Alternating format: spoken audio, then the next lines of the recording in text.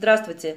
Как я уже сообщала, у меня произошла трагедия несколько дней назад. Муж случайно отломил цветок по филопедилума, который только что распустился. Вот он у меня в воде уже несколько дней стоит, пока живой. Ну, что поделаешь, случаются такие неприятности. И поэтому я пересажу этот пафиопедилум, так как здесь я нащупала пустой корешок. И все-таки нужно посмотреть, что там. Вероятнее всего, он растет э, в одном мху.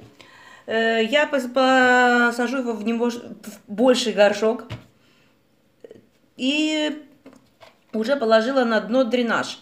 Как вы видите, это кусочки лавы. Это очень хороший дренаж. Этот пафиопетил, как мы уже говорили, любит э, плодородные листовые почвы. И мы сделаем ему вот такую смесь. Здесь обычная торфяная смесь. Здесь у меня, как вы видите, кусочки коры, грунт для орхидей и биологический гумус. Биологический гумус стопроцентный написано. Э, созданный червями, извините. Итак, приступим к посадке нашего растения. Да, я еще добавлю немного рубленого сфагнума, резаного. Для чего я добавила сфагнум? Э, дело в том, что когда у нас растение растет в сфагнуме, нельзя резко переводить его на более сухие условия э, жизни. Это будет большой шок для растения, так, поэтому мы добавили более влагоудерживающие материалы, чем просто грунт для орхидей. Итак, приступаем. Первым делом мы уберем цветонос, так как он нам уже не нужен. Мы срежем его как можно ниже. Ножницы у нас хорошо обработаны, как обычно, спиртом.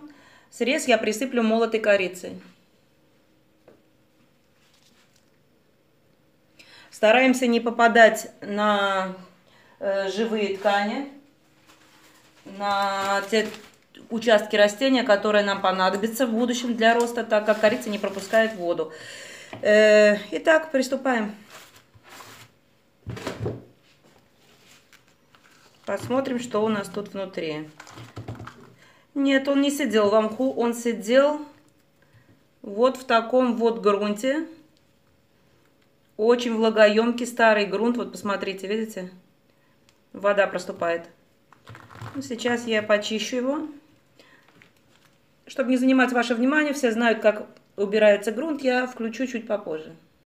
Итак, корни практически все хорошие, крепкие. Гнилых корней, кроме вот этой вот, которая меня и вот этих двух корешочков, которые я удалю. Они до половины. И очень приятная вещь, что вот здесь вот есть, не знаю, видно, Видите? Маленькая детка растет.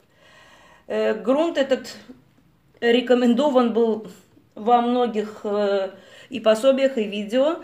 Мы посмотрим, как будет развиваться в этом грунте наш пафиопедилум. Итак, я перемешаю вот эту смесь.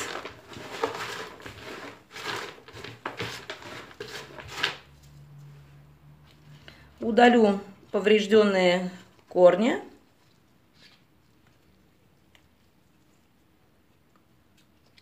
продолжим.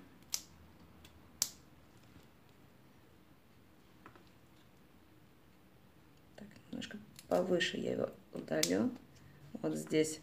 Э, все срезы обязательно присыпем корицей. Опрыскаю сейчас и перекисью водорода.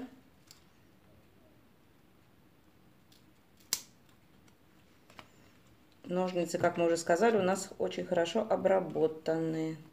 Так, ну вот эти вот три корешочка немножко были повреждены, и то, которые были наверху. По всей вероятности, они подсохли.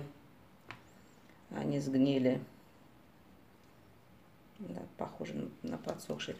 Э, теперь я обработаю это растение, и мы посадим его. Здесь у нас был и подпорченный листик.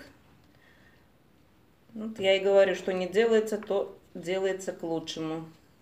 Листик еще один подпорчены. Вот это уже нехорошо. Как видите, началось загноение, загнивание. Да. Посмотрим, что будем делать. Загнивания, кстати, товарищи, довольно много. Сейчас почищу и посмотрю, что смогу сделать. Много гнилых листьев. Итак, растение обработали фунгицидом, оно подсохло. Э, можете себе представить, что за почти месяц, как это растение у меня, я его ни разу не полила, потому что грунт все время был мокрый. Вот это, этот мох, который был на поверхности, так сказать, декоративный, и так как у пафиопедилума легко подсыхают корни, если они не прикрыты грунтом, то его прикрыли вот этим вот мхом. И этот мох, как вы понимаете, держал влагу, и розетка загнила, начала гнить. Ну, по крайней мере, вроде бы дальше гнилого нет. По крайней мере, я так надеюсь. Сейчас я зачищу все, что только можно. Вот еще небольшой кусочек, участок.